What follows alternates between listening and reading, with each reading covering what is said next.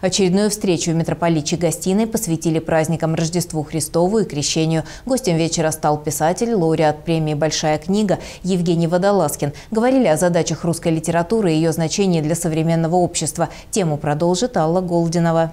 Крещенский вечер Белгородская митрополия подарила творческой интеллигенции праздник. В этот раз литературно-музыкальная гостиная стала центром притяжения для тех, кто пожелал узнать больше о традициях святок и поговорить о развитии русской литературы. С приветственным словом к гостям обратился владыка Иоанн.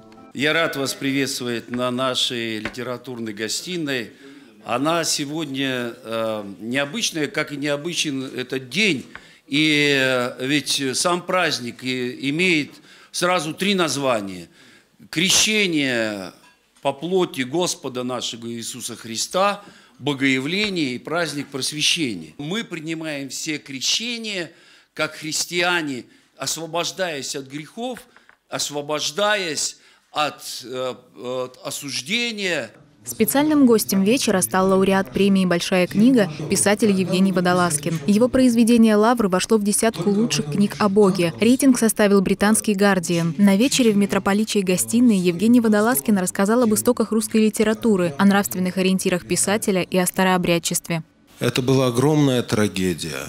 Э, вот это, э, так сказать, разделение э, на старообрядцев и Э, никонианцев, как их называли в старообрядчестве, э, сравнимая с э, семнадцатым годом. И вот этот ужас, мне кажется, надо окончательно преодолеть. Преодолеть, конечно, любовью друг к другу. Мало кто э, сравнится со старообрядцами по хранению русского духа э, и русской культуры.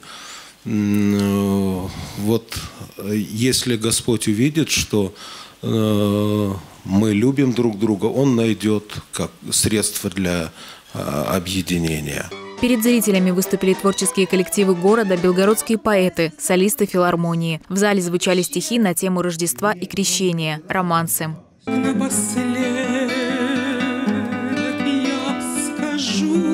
Своими впечатлениями от встречи с писателем поделились зрители. Два его романа «Авиатор» и «Лавр» были прочитаны именно так, захлеб.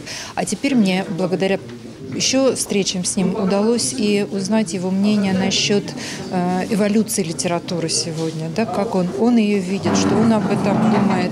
И это тема неоднократно возникает в жизни. Очень много приходилось на это размышлять, э, об этом размышлять, и поэтому э, рада, что его мнение во многом, вернее, мое мнение во многом с ним совпало. Здесь ведется разговор о очень глубоких и сложных и серьезных вещах, поиски которого иногда мы делаем, и не всегда находим у себя ответы и не всегда сами понимаем. И вот здесь, вы знаете, это вот моменты такого прозрения и озарения.